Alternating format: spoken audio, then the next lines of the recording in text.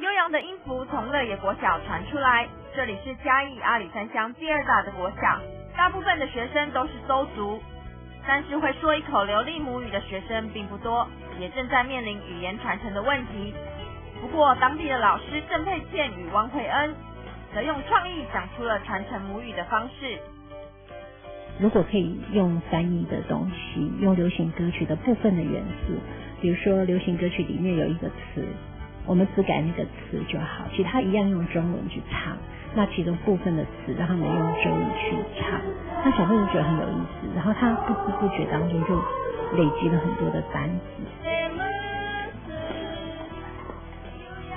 多次代表嘉义县参加比赛的乐野国小合唱团是学校的重要特色。学生也都喜欢哼哼唱唱，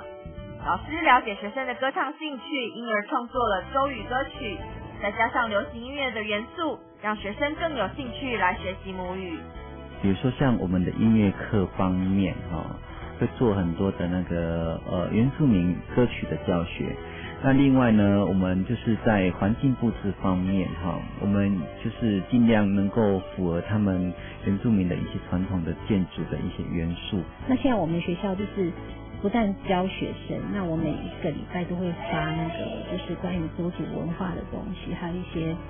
一些周语的练习是给老师跟家长的。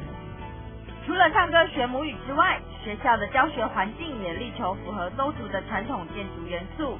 还提供周语的文化资源，让有兴趣的老师跟家长一起学习传承周族文化。